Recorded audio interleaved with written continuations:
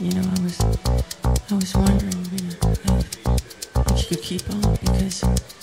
the force—it's got a lot of power and it, it makes me feel like, uh, it, it makes me feel like.